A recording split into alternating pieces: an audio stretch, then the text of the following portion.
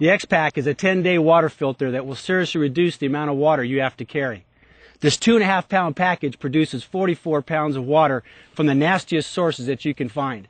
And if you're like me, the thought of drinking more chlorinated water makes you want to puke, but you're really going to like the taste of the X-Pack. This is a mobile tactical system that you can use for 10 days. Just fill it and go. HTI's products will provide safe drink from very contaminated sources. Just don't use seawater or coolants and try to avoid sewage or industrial waste. Now there are two ports on the X-Pack. The green one that the syrup goes into and the red port that the dirty water goes into. The green port leads to an inner bag containing a special membrane filter. Fill the outer bag by putting dirty water into the red port. Be sure to fill the bag as full as possible, otherwise your drink may be sweeter than you like. Before you close the red port, make sure the rim is free of debris.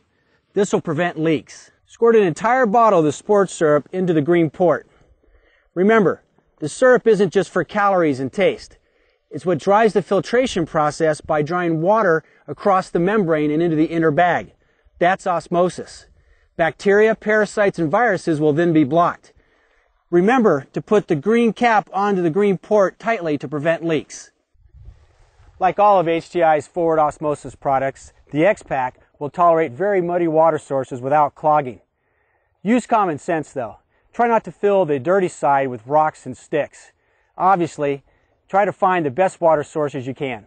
The X-Pack will produce about one liter in six hours. The warmer the water, the shorter the fill time. The maximum volume is about 1.8 liters. After you've filled the X-Pack, which should take only about a few minutes, throw it in your ruck or in your vehicle and let it do its work. That's all there is to it. After the X-Pack is hydrated, pour the clean drink into your canteen. Notice the clarity of the drink. The filter's done its job. We don't recommend drinking directly from the clean port so you prevent backwashing right into the good side. Now when I'm in the field, I like to keep two X-Packs going at one time. One that I drink from, the other one that continues to filter inside my ruck. That way, I provide myself with about 9 liters of drink a day. The X-Pack is a rugged tactical system that works on the go. It allows you to use virtually any water source you can find on the battlefield without clogging, providing clean drink.